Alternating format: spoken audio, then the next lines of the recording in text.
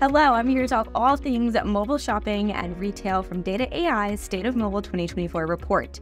So, which countries had the biggest shoppers in 2023? Well, time spent in shopping apps grew significantly in Brazil at 31% growth, Australia at 17% growth, and Mexico at 7% growth. Now, this is despite the global softening in space. We actually saw time spent dip slightly, which could be an indication of sophistication, where you're getting what you need faster from apps, so more mobile savvy experience. Or it could be a little bit of an indication of shifts in priorities, where we're moving more of our wallet towards, say, travel. We saw pockets of growth in a couple of sectors. So, supermarket and convenience stores grew 10% year on year for downloads. And we also saw retailer stores grow 7% year on year. Retailer stores includes apps like TikTok Seller, which was a breakout star of the year. Now, shopping habits are incredibly diverse globally, so you want to pop over to the report to get all the nuance in the space.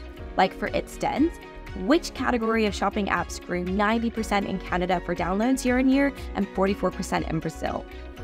But what was the defining trend of the year? It was actually mobile savvy retailers from China finally cracking the code on the Western market. So we actually saw the breakout stars of the year were number one, Temu, number two, Shein, and number three, AliExpress, all headquartered at parent companies in China.